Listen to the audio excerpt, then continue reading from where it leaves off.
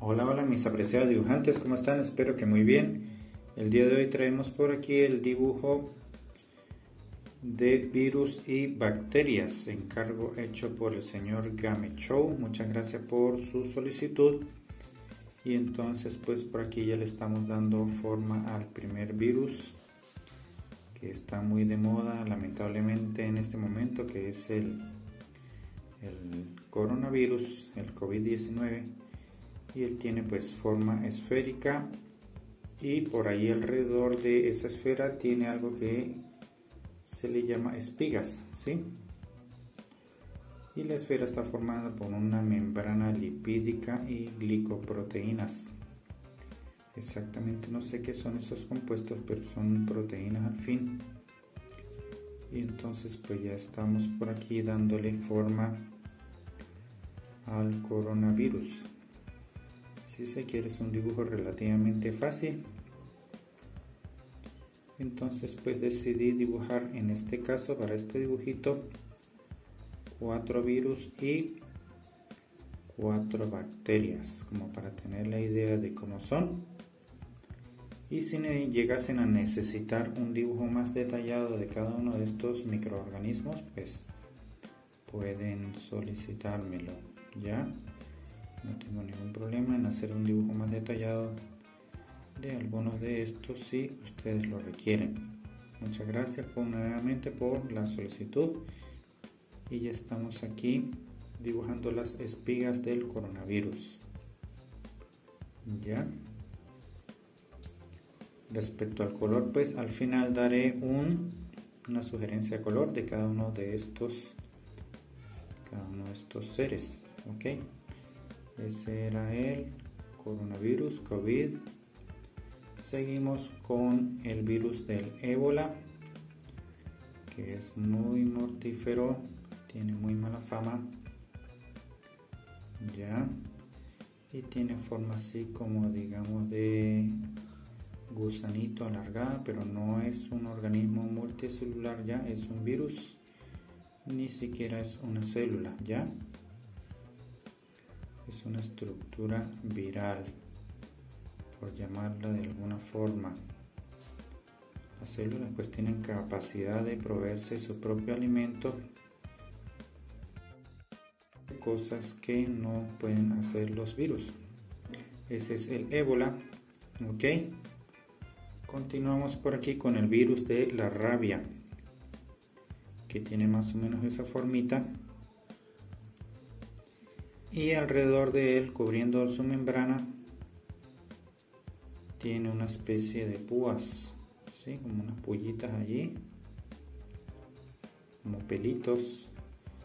Y entonces pues mm, eh, está rodeado con este tipo de estructuras alrededor de toda su membrana.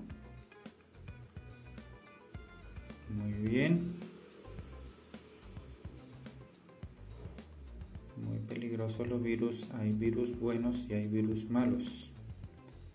Por ejemplo, estos tres son, digamos, malos para el ser humano porque nos causa problemas ya.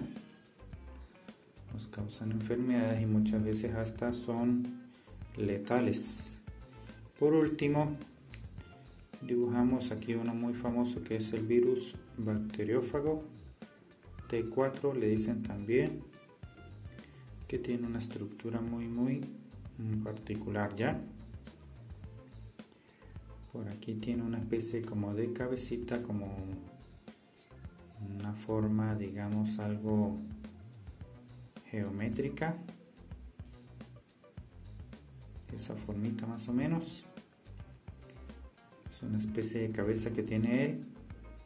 A continuación le, le dibujamos una estructura que se le denomina collar que tiene allí como una especie de cuello debajo de la cabeza ya.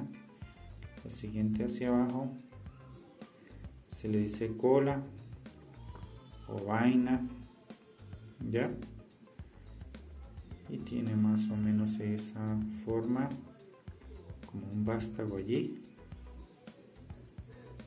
y esta estructura permite comunicar la cabeza con con la placa base que es justo lo que estoy dibujando allí y en la placa tiene unos filamentos unas fibras ¿sí?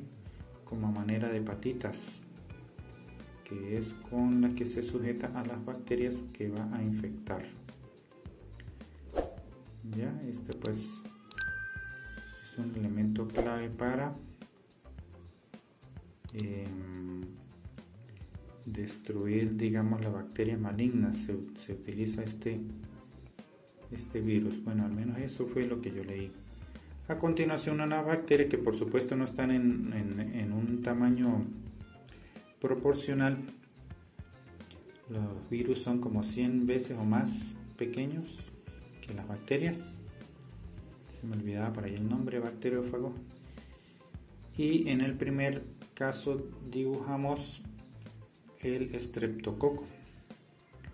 ¿sí? que es causante de varias enfermedades en nuestro cuerpo.